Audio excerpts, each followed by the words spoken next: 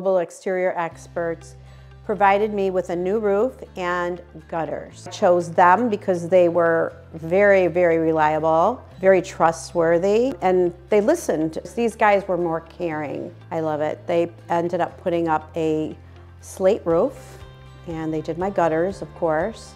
I did have a cedar roof before, which I did like, but the slate is absolutely beautiful. I've had neighbors of mine coming over and asked me, where did you get this roof from? They loved it.